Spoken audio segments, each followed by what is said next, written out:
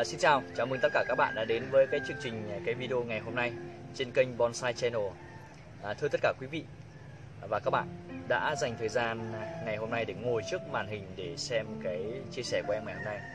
À, hôm nay đã ngày 29 Tết năm 2019 thì là một cái năm đánh dấu rất là quan trọng và cũng một phải nói là một năm mà mình nhận được rất nhiều những chia sẻ của các bạn những cái điều rất tuyệt vời từ quý độc giả những bạn mà hay thường xuyên theo dõi cái video trên kênh của mình.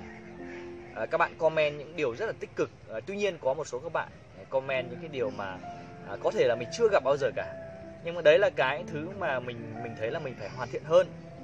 À, phải làm tốt hơn trong những cái chương trình năm 2019 à, hôm nay thì à, có lẽ là mình xin chia sẻ một số trải nghiệm của mình trong suốt một năm vừa qua các bạn biết là trên cái kênh của mình ý, thì mình à, quay được rất nhiều à, tuy nhiên là cái kênh của mình thì chưa chia sẻ được nhiều như tất cả các khác đi đến các nhà vườn gặp gỡ uh, rất nhiều các tỉnh thành khác nhau mình chưa được ghi nhiều. À, nhưng mà nó có một cái mạch à, mình nhận thấy là trong quá trình mình đi à, đi gặp gỡ những nghệ nhân những các nhà vườn như vậy thì mình đúc kết được những cái kinh nghiệm và những cái bài học để cho mình thế thì khi về thì mình áp dụng ở việc là chính cái việc là mình nuôi và chăm sóc những cây cảnh những cái cây mà cho chính bản thân mình đang chơi. Thì là uh, tất cả những cái video của mình ý, thì nó có thể phù hợp với các bạn. Uh, phù hợp với bạn hay không là do các bạn cảm nhận và nó hiện tại thì nó rất phù hợp với mình. Thì mình làm cái gì thì mình chia sẻ cái đấy.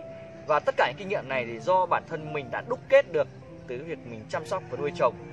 Mình uh, đúc kết được từ người khác đi trước thì mình là lưu lại những cái video. À, đó là cái kỷ niệm của mình và mình rất trân trọng và biết ơn tất cả các quý vị và các bạn đã dành tình cảm cho mình trong suốt một năm vừa qua. Các bạn biết là trong ngày Tết thì người ta tập trung vào việc là à, gần gũi với gia đình đi sắm cho mình một cái cây đào cái quất trong ngày Tết và à, chuẩn bị những cái hoa rồi những cái món quà cho người thân trong ngày Tết. Nhưng mà à, Tuấn thì à, thông thường thì mọi năm những ngày Tết là cái ngày mình mình được xả mình ấy, được được mình bản thân mình ấy, uh, được hòa cùng với những cái yêu thích của mình. Bởi vì uh, nói thật với các bạn này mình cũng không giấu gì. Mình là mình là người thật về thật lắm. mình thì thuộc dạng là con người không chăm chỉ chịu khó đâu. Ờ, về nhà thì bố mẹ mình vợ mình tất cả các em mình đã lo cái việc là chăm chút uh, mâm ngũ quả cho gia đình bánh trưng tất cả mọi thứ rồi cái việc của mình thì mình cũng không có việc nhiều cả. Thì mình vẫn muốn là đóng góp và chia sẻ với quý vị và các tất cả các bạn trên kênh này những cái kiến thức và video trên về cái cảnh. Các bạn để ý thấy các bạn không tin thì các bạn xem lại cái video xem. Một năm về trước, tất cả những ngày này mình làm rất nhiều video và ba ngày tết hầu như là mình không nghỉ một ngày nào hết. Mình vẫn chia sẻ đều đặn.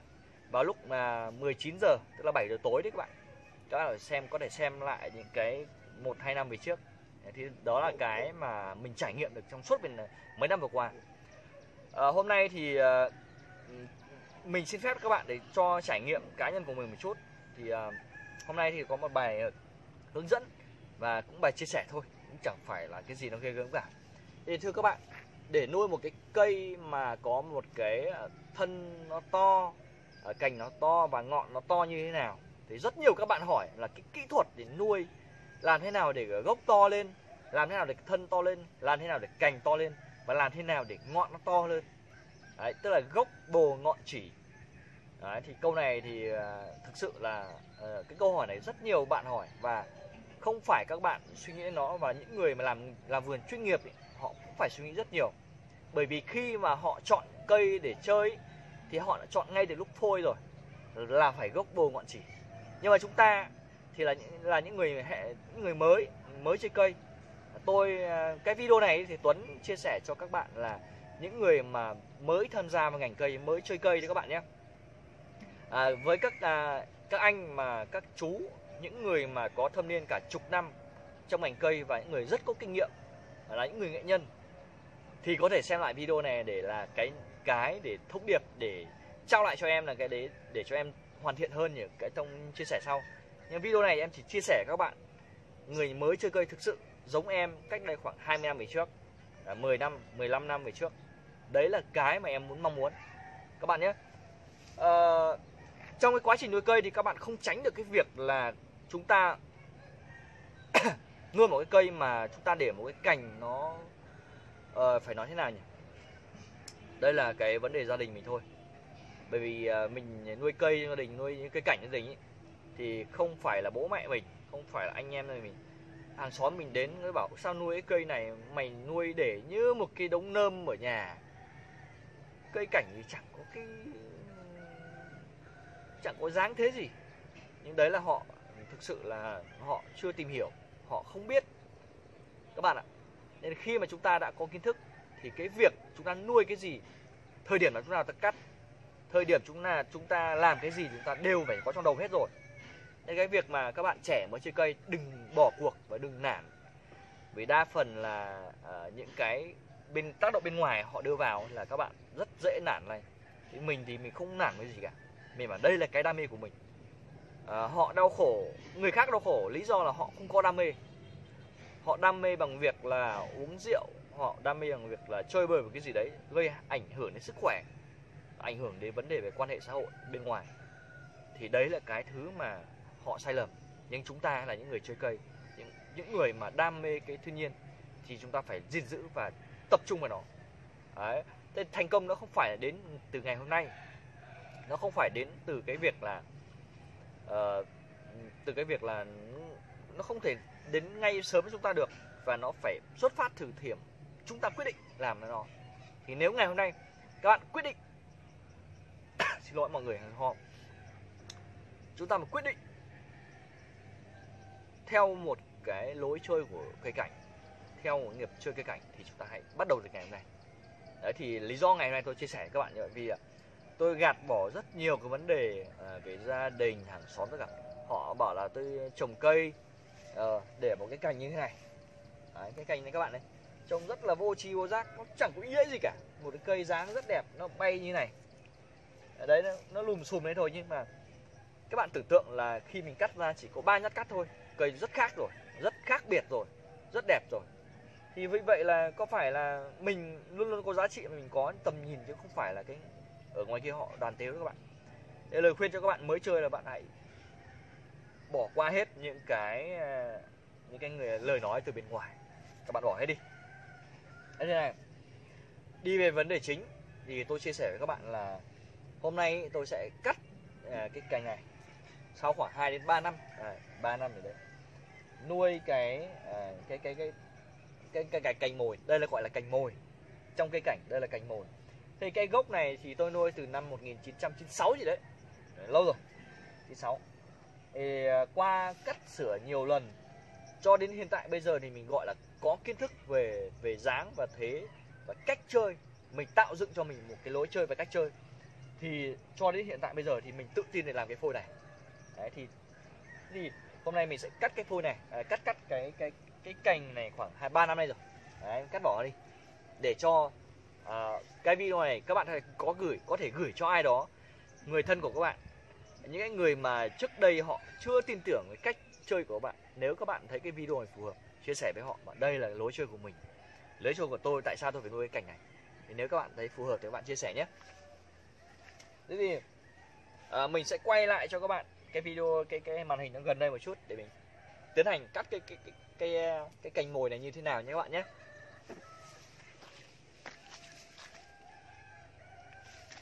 Bây giờ thì mình sẽ đi vào cùng cho các bạn xem đây. À, Thưa các bạn, đây là một cây xanh. Cây xanh mình nuôi từ năm 96 gì đấy Thì là cái cây này thì uh, Trước đây nó là một cái cái nhánh Mình nhánh mình nuôi nó. Thì chúng ta sẽ nhìn thấy trên này có rất nhiều cái sẹo Ví dụ là cái sẹo lớn này này. Sẹo lớn này thì mình qua cho quá cái trình mà nuôi ờ, thả và cắt đi cắt lại nhiều lần Thì tạo thành cái sẹo này. Đây cái sẹo này là sẹo trên này. Đây là cái cành mồi. Cành mồi mục tiêu của mình ý, các bạn là đi nhiều rồi vườn sẽ biết là mình sẽ nuôi những cái rễ ở này cho nó có bệ nó lớn lên. Đấy, những cây này thì mình sẽ lướt qua cho các bạn nắm được nhé. Cây này thì mình khá tự tin và kiên trì làm với nó bởi vì hôm nay năm nay là mình 35 tuổi nhưng mà mình xác định là khoảng 30 năm nữa mình sẽ làm chinh phục cây này một cách ngon lành và hoàn thiện 100% à, cho đến bây giờ thì nó cũng chưa là, à, một cái gì nó gây gớm cả. Nhưng mình muốn trải nghiệm nó và cái cá tính của mình là muốn kiên trì và bền bỉ. À, nên là tôi rất là tự tin và làm tôi không phải vội vàng. À, tôi cắt đi làm lại cắt đi làm lại cắt đi làm lại rất nhiều lần để làm thế nào để đạt đến mức tối đa nhất. Mặc dù à, các bạn có thể xem những cái view rất nhiều của tôi. Đấy, nhưng mà các bạn có thể nói là tôi chưa làm được cái gì cả, nhưng mà tôi muốn là cái tác phẩm này tôi phải tự làm được.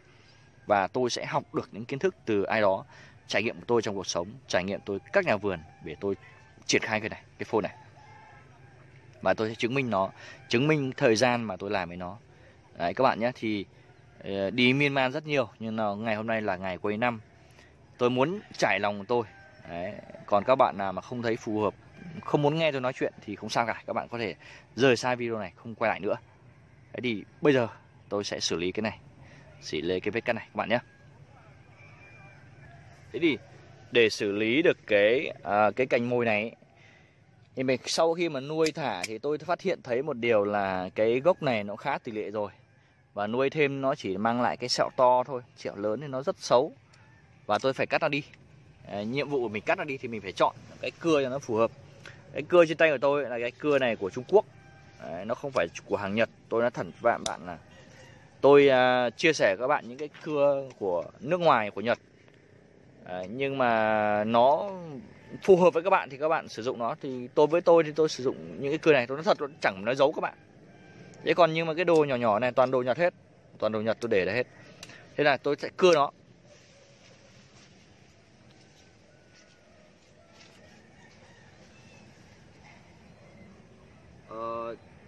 Trong suốt 3 năm nuôi thì ngày hôm nay được cầm cưa rất, rất là thích. Mình sẽ cưa nó. Rồi chúng ta sẽ nhìn đến đây. Mình sẽ cưa nhá. Tôi sẽ thu ngắn nó lại. Còn sau tạo và cái sẹo nó như thế nào? Cắt. Tạo uh, thẩm mỹ như nào thì mình sẽ tính sau.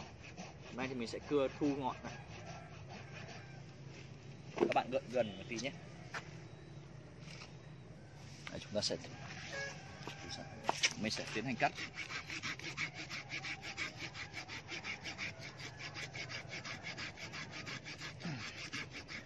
Đúng là cưa của tàu.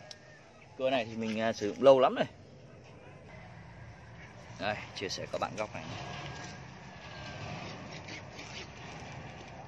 rồi, ờ, rồi bây giờ mình sẽ vâng. Dạ. Có ở trong nhà đấy ở ờ, do là cưa này là không phải là cưa Nhật các bạn nhé. Cưa Nhật cắt sướng lắm. Ví dụ như cái cưa này. Cưa này bé bé này. Các bạn mua Vâng. Các bạn mua quân cưa Nhật cắt thích cực luôn. Cắt sướng lắm. Cái này thì cắt bé thích. À, Sắp hoàn thành rồi các bạn ơi. Đấy.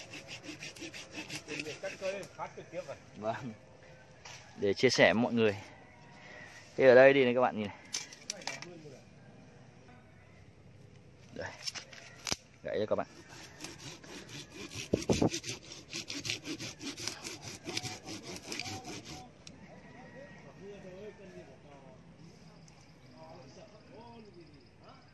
Các bạn thấy chưa? Cho xuống nhá. Đấy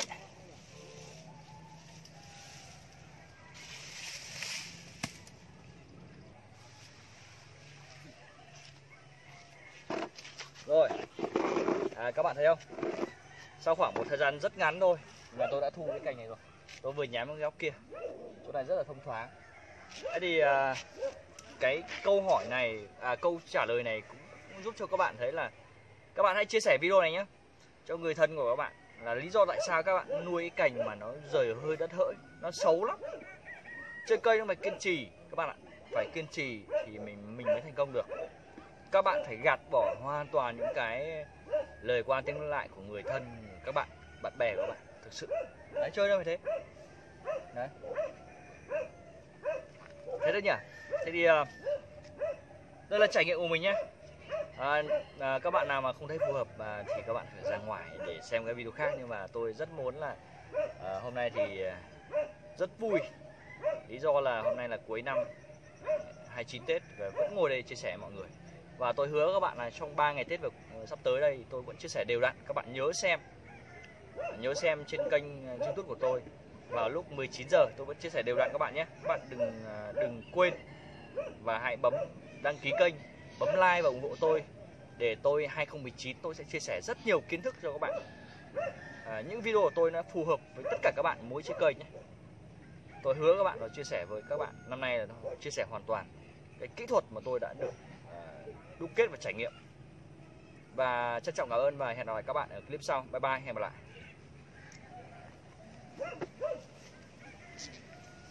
Woo!